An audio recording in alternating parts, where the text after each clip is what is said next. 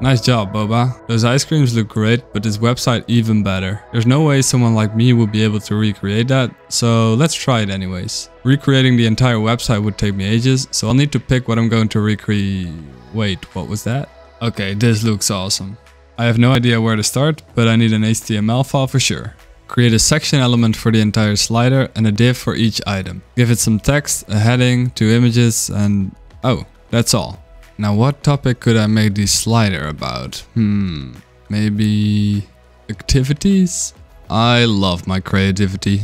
Now it seems like each ice cream element fills about half the size of the screen and the previous and next one are half visible on the edges. But for those, you don't see the entire element, just the ice cream picture. The rest fades in when you hover over them, at different speeds, from different angles. But how? And how will I implement this background if I never created a curve before? Uh, Alright, let's take a step back and break this down. I see three main challenges here. The sliding itself, the animated position and opacity, and the wobbly bobbly background transition. Let's start at the start. I know about this library for sliders, but I feel creative today, so let's only use the holy trinity of web development. Since we want to slide between different activities, I'll add a few extra, each with its own content.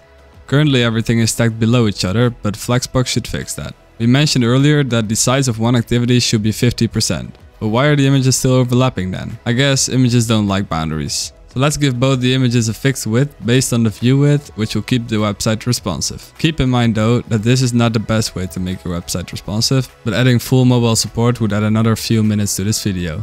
But wait, if the width of an activity is 50%, then why can I see the third activity?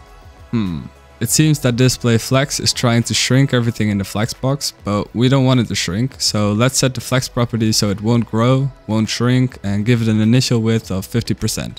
But somehow I can still see the edge. Ah, that evil body margin. Next, overlap the images in the center. Uh, wait, not all the images, I meant relative to its own activity. And make the section the full height of the screen. Wait, why does it add a scroll bar for an element which is exactly 100% of the view height? Is it because of this little guy? Hmm, apparently it is. Well, we didn't want him anyways. Now add some last tweaks for the font, the text alignment, font size and some other font styling and give each section its own text color and background color.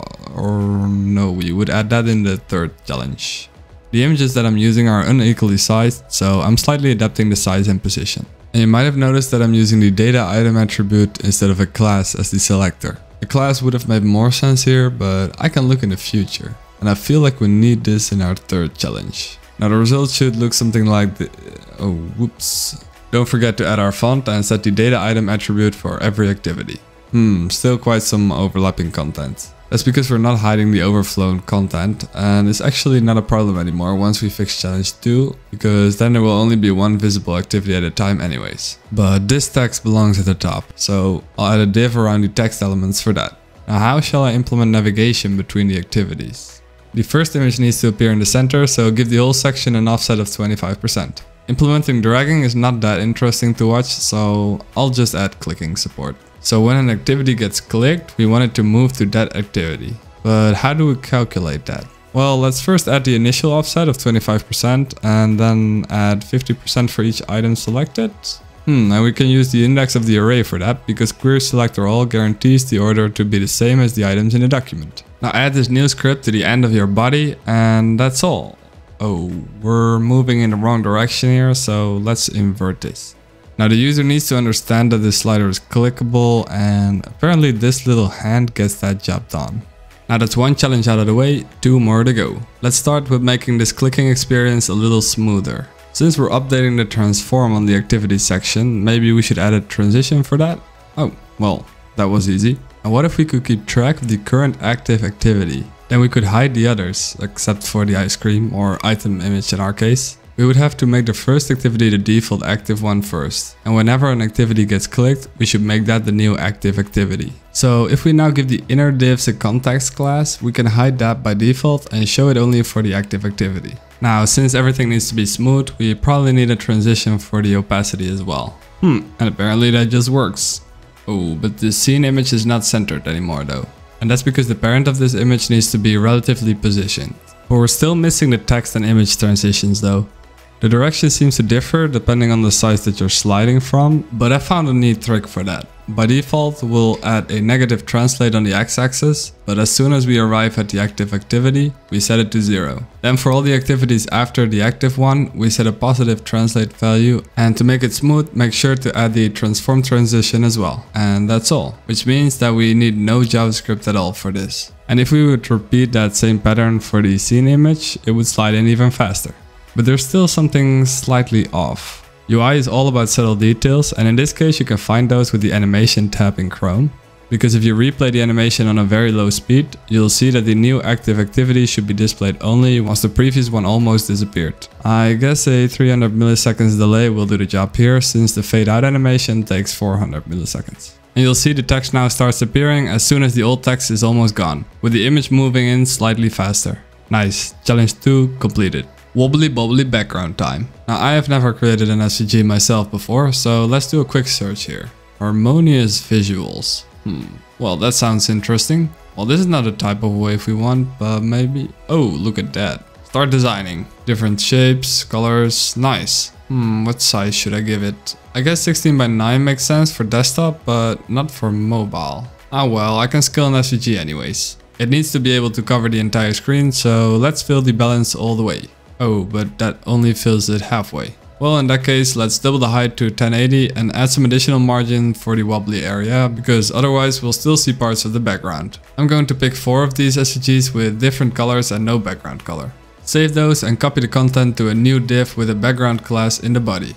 Now we want those SVGs to always cover the entire width of the screen and to be at least about 2.5 times the height of the screen because of the blank area, the waves and the solid area. Make them absolutely positioned so they will all position on the left top of our screen and... Hmm, why is nothing appearing? Ah, we're currently seeing the top part of the SVG, which is transparent. So that probably means that we can transform it upwards to see it. Oh, look at that. And if my calculations are correct, I would now be able to make the SVG cover the entire screen and shoot.